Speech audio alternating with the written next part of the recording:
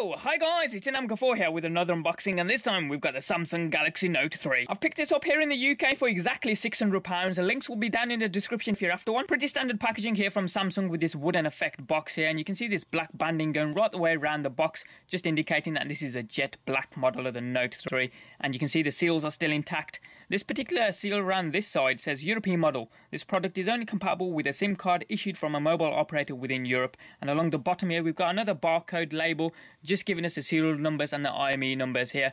And along the back, from the top, you've got the Galaxy Note 3 branding. This is a 32GB model. It has LTE connectivity, a 2.3GHz Qualcomm quad-core Snapdragon 800 CPU with a 5.7-inch Full HD Super AMOLED capacitive touchscreen, capable of playing back Full HD videos at 1080p. Rear-facing cameras include a 13-megapixel shooter with a 2-megapixel camera for the front and includes 3GB of LPDDR3 RAM. It also includes the S Pen as well as having a 3200 milliamp battery, obviously running Android Jelly Bean 4.3 as you can see here, and you can see the model number towards the bottom there being SM-N 9005. There's going to be a number of variants for the Galaxy Note 3. So if you've got model numbers ending in 9000, that's a model with 3G connectivity. 9002 has dual SIM card support, and like this, 9005 has 3G and LTE connectivity. Enough talky talky. Let's put that down for a sec. Grab some scissors, score across this side, and the seal this side as well and should just lift off fairly easily. So here we go. And there we go. Ooh, look how good that looks. Lift that out. Ooh, look how good it looks. Jet black finish. Galaxy Note 3. That does look good. We'll leave it to one side and see what else we get at the box. Quick start guide here from Samsung. Again, giving you another overview about the device, where some of the key features on the handset, how to remove the battery, remove the S Pen, use the S Pen, put it back in again, that kind of good stuff. So leave that to one side. We've got some key features handbook here from Samsung. Again, it gives us some overview of Samsung specific features like S Window, Scrapbook, S Note, how to use those types of features. So if you haven't used Samsung products before, that may come in handy. We've got some warranty card information here in various languages, smart switch information, how to port over data from your old Samsung device to your new. Again, we'll leave that to one side and this looks like health and safety information in various languages. So again, we'll leave that to one side. Next up, we have the UK 3-pin power plug. It looks pretty standard, but doesn't look like it fits the wall as is at the moment, but you have to slide that up like so, and boom, it goes straight into the wall. You've got the Samsung branding along this side, as you can see there. USB port for charging once you plug in the cable. So we'll leave that to one side because that's pretty standard nowadays. Next up, we have the data transfer and charging lead. This is pretty standard or is it? And you can see the USB interior is blue because this is a USB 3.0 cable and along the other you have the micro USB 3.0 connector which plugs into the bottom of the phones. So moving on from the USB 2.0 days to now USB 3.0. Next up we have the earphones. Let's see if we can get this opened up here. Have a little bit of a closer look with the earphones and here we have the mini remote control volume up and down buttons, call pick up and end and microphone along the back here.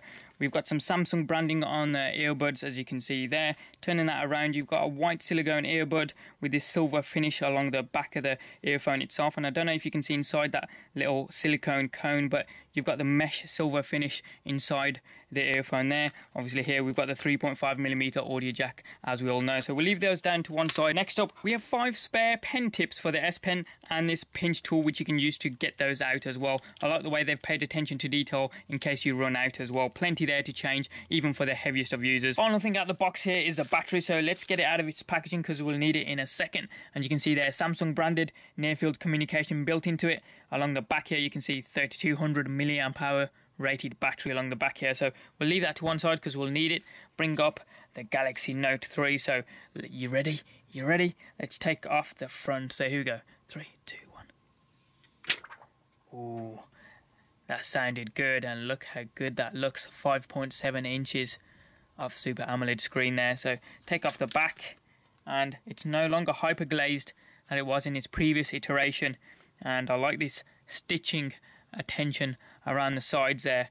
Almost looks as if it's handmade. Towards the side, you've got the little slot where you can get your fingernail in and hopefully pry off the back of this particular unit to get to the battery compartment. And while we're here, I'll remove that little sticker there. That's a 13 megapixel rear facing camera with the LED flash underneath it. You can see the battery contacts there. The micro SD card slot is the one along the top there, and underneath is a micro SIM card slot as you can see. Normally you'd be able to see the speaker grill there but it's kind of planed off because it's more towards the, the bottom there. You can see the grill there. There we go. Put that in and put the back back on here. Click that back into place. Power button as ever is along the right hand side here. So i'm just going to press that down to turn the device on while we have a look around it. Samsung galaxy note 3 branding there. Gorgeous. Top right here we have the 2 megapixel front facing camera. You've got the sensors there the earpiece in the middle led notifications towards the left hand side here. Home button is slightly raised in the middle. Back and menu buttons as you can see there. Volume up and down buttons as ever along the left hand side. So We'll just straighten that up. United Kingdom English, yes. We'll hit next. No SIM card, that's correct. Wi-Fi is connected up, so we'll hit next. Date and time, we'll leave it to the network, automatic, and we'll say yes to the license agreement. We'll say yes to that as well.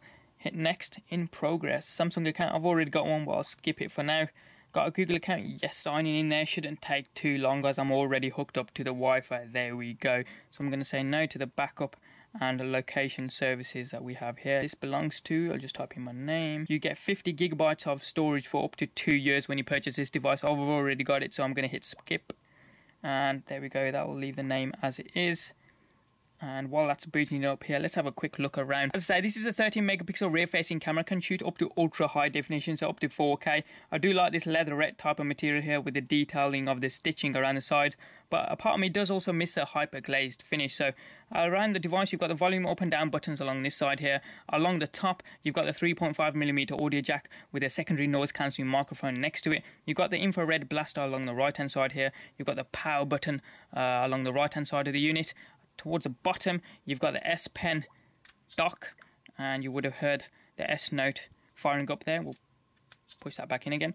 You've got the grill for the speaker, which is not along the back as it was in the previous model. Micro USB 3.0 connectivity there, just for ultra high fast data transfer speeds if you're going to be recording video in 4K. You've got the microphone there as well. Let's get back around to the front of the device and hopefully it's finished setting up by now. Yes, it has. So let's get the S Pen out while we're here. Notice how the air command function starts up automatically when we've taken the S Pen out. Feels ever so slightly slimmer and lighter than what I'm used to previously, but it still feels pretty good in the hand. Button clicker there, Samsung branding along the top here, a bit more grippier to get out along the back here with this little notch, but it feels very good in the hand. But look how good that 5.7 inch screen looks here. Let's see how responsive it is by using their S Pen. Still feels pretty good, even with my finger. Still responsive, very smooth. I do like this a lot. So let's go to the applications drawer. Uh, only the one pane on here. Never mind. Let's go to settings. Go to the general tab and down to about device and you can see the model number there and Android version 4.3 Jelly Bean out the box. And this has been the unboxing for the Samsung Galaxy Note 3 here in the UK as ever any comments or questions you guys have got hit them up in the comment section down below there. Give us a thumbs up if you like this video and you like what we saw. And if you haven't already done so hit subscribe. It's also down there as well. Doesn't cost you a penny. And you can also check out some of our forthcoming videos. Thanks for watching. Have a wicked day and we'll see you next time